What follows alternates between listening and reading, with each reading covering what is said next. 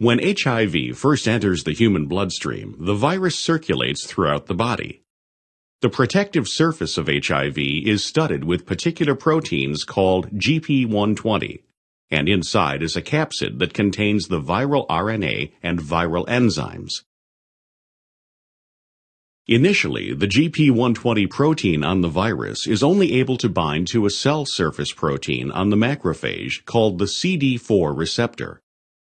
A second receptor protein, CCR5, must also be present on the macrophage for the virus to enter the cell by endocytosis.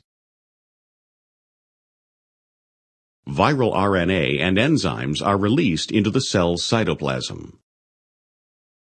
Reverse transcriptase uses the viral RNA to synthesize first a strand of viral DNA and then the complementary DNA strand.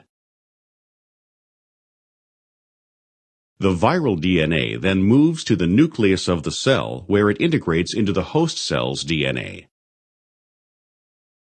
Transcription of the DNA within the nucleus now results in the production of viral RNA. This viral RNA can serve as the genome for new viruses and can be used as messenger RNA to produce viral proteins during translation by the ribosomes.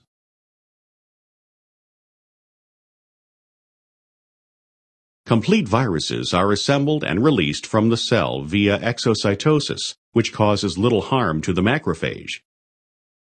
HIV cycles through macrophages over a period of years and continues to multiply while doing little apparent damage to the body. Eventually, the gene that codes for the GP120 protein is altered by mutation,